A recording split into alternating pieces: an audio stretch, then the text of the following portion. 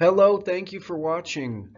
In this video, we are going to go through one of Poe's most masterful works, one of the most well-known poems in American literature, The Raven. We're going to have a summary and analysis of the poem itself. So let's start by going through a summary of the poem. First, it's midnight on a cold evening in December in the 1840s. In a dark and shadowy bedroom, our speaker, uh, our, the poem describes it as a chamber. There's probably a dark connotation associated with chamber, but it is the same as bedroom. Wood burns in the fireplace as a man laments the death of Lenore, a woman he deeply loved. The whole poem centers around this deep love and grief over the loss of our speaker's beloved Lenore. To occupy his mind, he reads a book of ancient stories, but a tapping noise disturbs him. When he opens the door to his bedroom, he sees nothing, only darkness. And throughout the beginning of this poem, our speaker trying to distract himself uh, by reading this book of ancient stories, trying to forget his sorrow. We're getting some really dark, melancholy choice of words that create this dark, melancholy mood. It's very rhythmic, but it's also very, very depressing, really.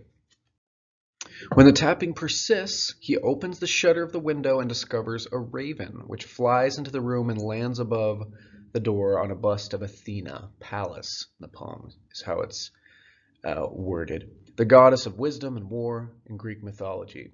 It says nevermore to all his thoughts and longings. The raven, which is a symbol of death here, tells the man he will never again see his beloved, never again hold her, even in heaven.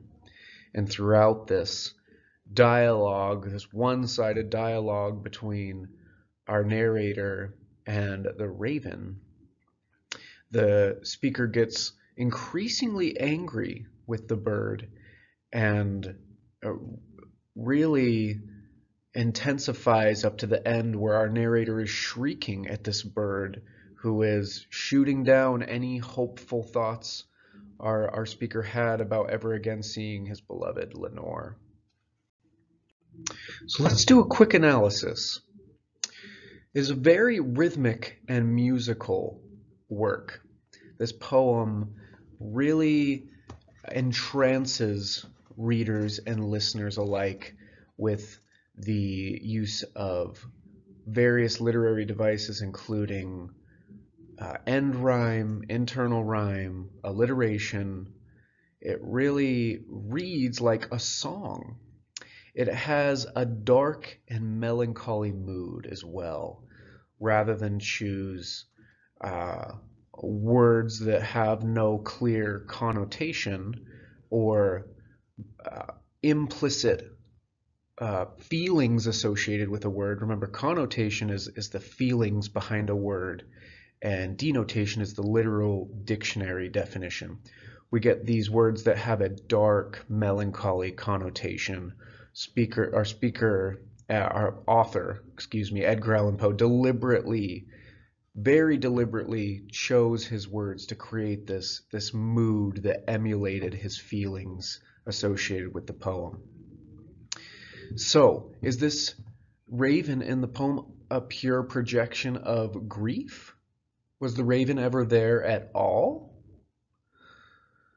There's evidence that supports both that there is a literal raven as well as a hallucination by our speaker. And